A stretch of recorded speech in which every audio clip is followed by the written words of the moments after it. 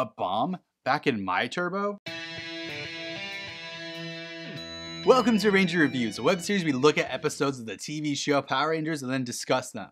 Today we're exploring the 23rd episode of the show Power Rangers Turbo, as well as the 228th episode overall titled The Phantom Phenomenon. We begin this episode with a view of Earth, and something shining is flying toward it. You can tell this is a shot from the movie because the Earth looks way too good for TV. Meanwhile, at the soccer field, Justin and friends are playing while annoying parents cheer on, and Justin kicks the ball into some dad. Then his friend scores a goal. That thing from space comes, landing hard. Justin asks what that was, and his dumbass friend suggests a sonic boom, saying, Oh well, and they run off together. Stupid kid. We're back to more soccer, and now that dad that got the soccer ball to the face says it's the last point. Guess this isn't a real game? Justin kicks the ball super far and it disappears into the forest. His friends follow the ball down the hill into the forest, getting to the bottom near a tree. Then some kid asks if he found the ball while he stares off screen at something, and this is when we finally find out that this kid's name is Nico. He runs back up. On the ship, Divatox has counted all of her jewels in gold and she still doesn't feel like it's enough, despite Elgar saying she has $10 million worth of money. Then Divatox sees Angel Grove Bank and she wants to rob the bank.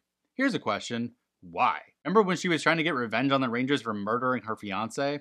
In the forest, Nico is making Justin triple duty promise that he won't tell anyone what he found. Is Nico six years old? They look around a tree to see a spaceship, and Nico suggests that there's aliens inside. Then a twig snaps somewhere, and Nico gets scared, running away. Justin follows. At the bank, Bulk and Skull are working security duty as police officers again.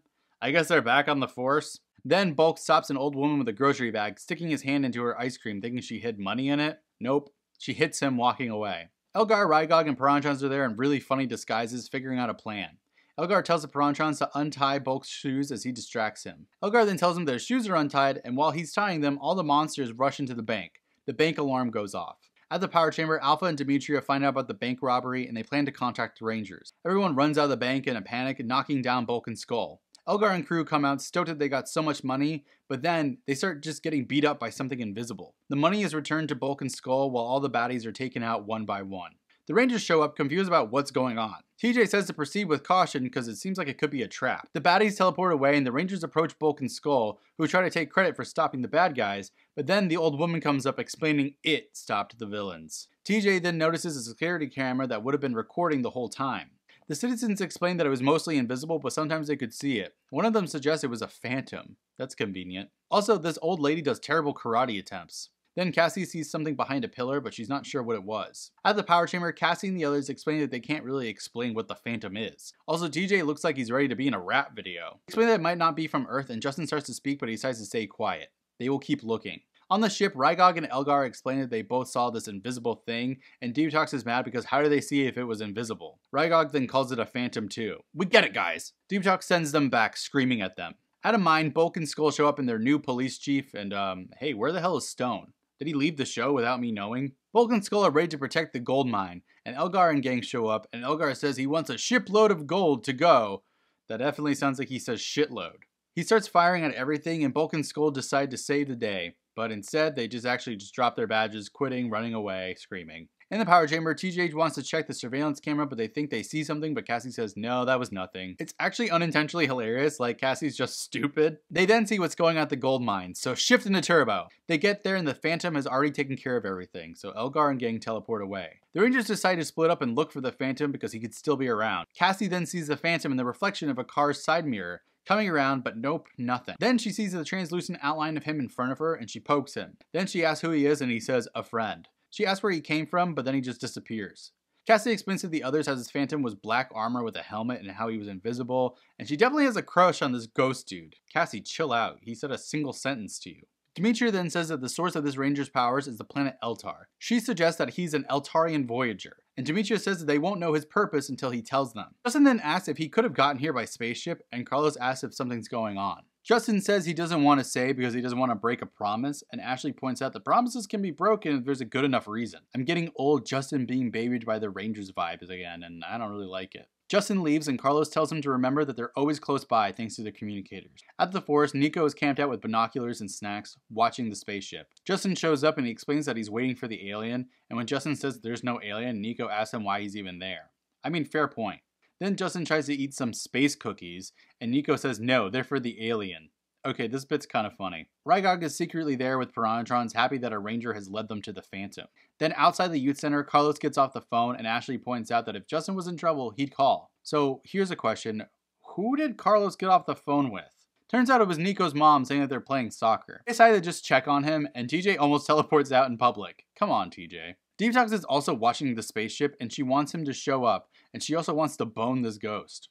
Porto says that maybe he just needs incentive, and Divatox tells him to go send Rygog the detonator. Justin's communicator goes off and he lies, saying it was his watch. Then he tells Nico, oh darn, you have to go home now, which is really funny. Nico says no, he has permission to stay out late, so suck it. Also, it's definitely like 11 a.m. Then Piranhatrons show up around them and Nico offers them some cookies because they're the aliens, but then they just kick it out of his hands. Okay, Nico is low-key funny. The others aren't getting a response from Justin worrying. Meanwhile, Nico and Justin are being held back while Rygog is placing the detonator on the spaceship. He activates the timer laughing. He then hides behind a tree again, like an elephant behind a leaf. Then Justin gets free, telling Nico to run. Justin takes on the Piranhatrons and he tries to call the others, but he gets held back again. Then Rygog and Divatox count down the timer. Here comes the Phantom Ranger, running toward the spaceship, getting the detonator and tossing it into the air, letting it explode. Divatox then says to fire the torpedoes to destroy the spaceship. We see the Phantom Ranger fighting off a bunch of Piranhatrons, and then Justin tells Alpha to send the Rangers, doing a really cool instamorph. The others show up, helping Justin with the Piranhatrons. The Phantom Ranger sees that the torpedoes are going toward his ship, but the other baddies have recaptured Nico. The Phantom Ranger decides to save Nico, and he asks if he's okay, and Nico says yes. Then the spaceship gets blown up by the torpedoes, so Rygog and the Piranhatrons teleport away. Wouldn't that just have made the spaceship big? The Rangers make sure that Nico is okay, and Nico says he's fine, but it's his fault that the ship is blown up. Then the Phantom Ranger somehow makes his ship reappear. We saw it explode, that's BS. TJ thanks the Phantom Ranger for helping them, and he doesn't say anything, getting into his spaceship flying away. At the soccer field, Justin explains that he ran away, and Nico is telling everyone how he was saved by the Power Rangers, and explaining how the spaceship got blown up, but the other kids don't believe him at all. Even that douchebag dad says, no more tall tales, getting the game started. Then Cassie shows up sitting next to Carlos, and Carlos thought she wanted to play today. Again, these kids are like 10 years old. There are age divisions for a reason. Cassie wants to know if he'll ever come back, looking off. The end. So, Cassie definitely wants to make out with the Phantom Ranger, right? I mean, other than that weird thing, this episode's pretty decent. I'm still back and forth on liking and hating Nico as a character, but I will say he's not the worst child actor or character this show has ever had. I still think it's nice to see that Justin has another friend his own age. So, the Phantom Ranger. This season pretty much doesn't have a regular 6 Ranger as that spot is taken up by the Blue Senturion primarily, but the Phantom Ranger is a cool little addition to the show for now. Here's a disappointing spoiler though. We will never ever find out who the Phantom Ranger is. We just learn things about him, but we won't ever know exactly who he is. I'll explain more about that later. So, will the Phantom Ranger show up again in the next episode? Find out next time, but until then, may the power protect you.